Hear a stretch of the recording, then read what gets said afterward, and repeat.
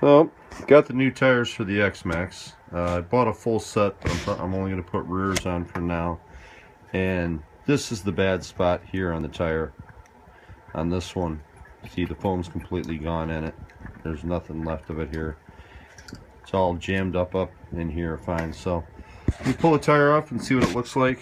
There's what's left of my body. New one will be here this week. Same thing on the other side. You can see where the foams just come free. It's all packed up inside of here. Closer inspection, yes.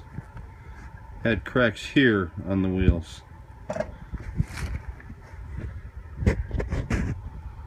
Same on this one. It had to be where the water was getting into them. This one's still filled with water.